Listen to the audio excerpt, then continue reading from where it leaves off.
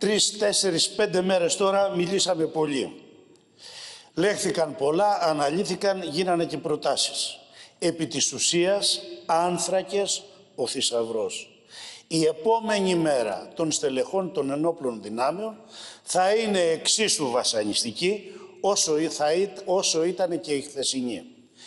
Ακριβή ενέργεια, ακριβό το σούπερ μάρκετ, ακριβό οτιδήποτε έχει σχέση με την υποστήριξη των παιδιών τους και την καθημερινότητα των οικογενειών τους. Το λέω αυτό γιατί. Γιατί θα πρέπει να γίνει συνείδηση και στα στελέχη των ενόπλων δυνάμεων ότι τα προβλήματά τους είναι ταυτισμένα με τα προβλήματα που βασανίζουν και τον υπόλοιπο ελληνικό λαό. Και όπως είναι κοινή η μήτρα που γεννάει αυτά τα προβλήματα, κοινή είναι και η λύση που σημαίνει αγώνας εναντίον της πολιτικής που τα γεννάει.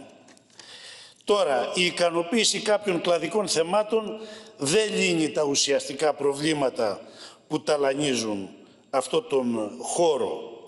Ε, η άποψη μας είναι ότι καμιά κυβέρνηση, κανένας πολιτικός χώρος δεν θα τους λύσει τα προβλήματα. Οι ίδιοι θα πρέπει να δουν ότι την λύση την έχουν στα χέρια τους, συσπυρωνόμενοι και πολεμώντας μέσα από τους συνδικαλιστικούς φορείς, διεκδικώντας τη λύση τους. Και μια και ανέφερα και συνδικαλιστικούς φορείς, καλό θα είναι να σταματήσουν να κοιτάνε προς τις κορυφές ε, και διεκδικώντας θέσεις σε υπουργεία και σε άλλα επιτελεία και να κοιτάξουν τους, ε, τα στελέχη τα οποία υποστηρίζουν.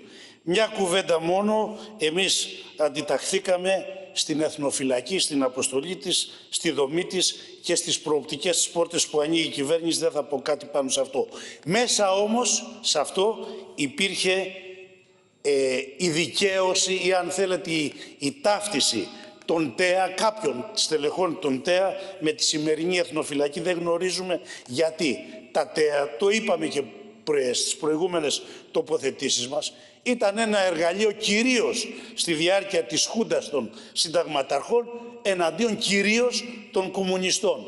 Βλέπουμε σήμερα να, η κυβέρνηση να τους ταυτίζει με αυτό το νομοσχέδιο. Και το λέω γιατί κύριε Υπουργέ, σήμερα, μάλλον και σήμερα, με μια μικρή προοπτική, το Πολεμικό Μουσείο κάνει έξωση σε αυτούς οι οποίοι αντιταχθήκανε στην Χούντα. Πολεμήσαν, εξορίστηκαν, βασανίστηκαν, καταστράφηκαν ζωές. Έχουν ένα χώρο στο Πολεμικό Μουσείο της Θεσσαλονίκης. Είναι μια διαρκής έκθεση που τιμάει τον αγώνα αυτών των ανθρώπων. Το Πολεμικό Μουσείο τους κάνει έξωση γιατί της Θεσσαλονίκης είναι παράρτημά του. Εμείς λοιπόν ζητάμε και το θέτουμε σε εσάς που είστε παρόν αυτή τη στιγμή να γίνει μια ρύθμιση ούτως ώστε να παραμείνει αυτός ο φάρος της ιστορίας και των αγώνων του ελληνικού λαού απέναντι σε αυτό το ε, καθεστώς να, μην, να παραμείνει αυτή η έκθεση και να είναι ενεργή προσβάσιμη και στον κόσμο της Θεσσαλονίκης αλλά και ευρύτερα σε όποιον θέλει ε, να την επισκεφτεί. Ε, καταψηφίζουμε κύριε Πρόεδρε και εμείς αυτό το νομοσχέδιο από τις αρχής. Τώρα στα άρθρα θα τοποθετηθούμε εδώ πέρα με την ψηφοφορία. Ευχαριστώ. Ευχαριστώ. Καλό, να αναφέρω ένα στοιχείο για την τροπολογία του Υπουργείου Εργασίας για να καταγραφεί και αυτό στα πρακτικά. Ήθελα να πω ότι ε, σε σχέση με την έκδοση των συντάξεων και ειδικά των επικουρικών ε, υπάρχουν μεγάλες καθυστερήσεις και, και αυτή η τροπολογία την οποία κατέθεσε το Υπουργείο Εργασίας κατά την άποψή μας παρόλο που φόντο στην τροπολογία αυτή είναι οι επερχόμενες εκλογές ε, βρίσκονται εκτός από αυτή χιλιάδες αιτήσεις που υπάρχουν και σε άλλα επικουρικά ταμεία. Το Κομμουνιστικό Κόμμα Ελλάδας στέκεται στο πλευρό των συνταξιούχων που όλο αυτό το διάστημα αγωνίζονται για πραγματικές αυξήσεις, για την επιστροφή της 13ης και 14ης σύνταξης ενάντια στις περικοπές και την ακρίβεια. Τώρα, για τα άλλα άρθρα της τροπολογίας, αν ήταν χωριστά το 5 και το 6, θα ψηφίζαμε ναι.